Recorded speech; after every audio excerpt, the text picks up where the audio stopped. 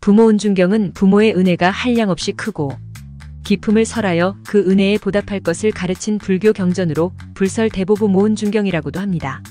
이 경의 내용은 부모의 은혜가 한량없이 크다는 것에 역점을 두고 있으며 어머니가 아이를 낳을 때는 삼말 팔되의 응혈을 흘리고 팔섬 사말의 혈류를 먹인다고 하였습니다.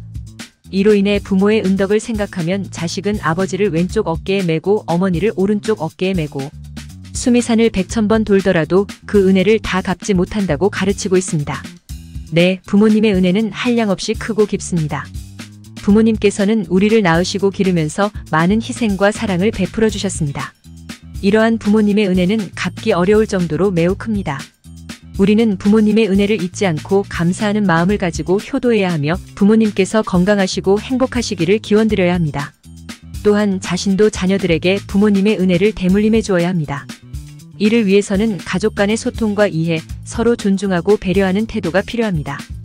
공자가 말씀하기를 무왕과 주공은 누구나 희 칭찬하는 효자시다. 는 부모의 뜻을 잘 계승하고 선인이 하던 일을 잘 따르는 것이다.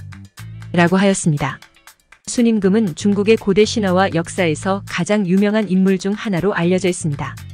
그는 부모님께 효도하고 형제자매들과 우애롭게 지내는 등의 도덕적인 행동으로 유명합니다. 순임금의 효에 대한 내용은 다음과 같습니다. 20대 효행으로 이름을 날렸으며 30대에는 요에게 등용되었습니다. 50대 천자의 정사를 맡아 행하였으며 61세에는 요가 죽자 60살의 요를 이어 제위에 올랐습니다. 100세 남쪽 순행하며 시찰하던 중 창호에 들에서 죽었습니다. 부모님의 은혜는 매우 크고 깊어서 갚을 수 없다고 하여 불가사의 또는 무량대수라고 표현하기도 합니다. 부모님의 은혜는 다음과 같습니다. 첫째 임신.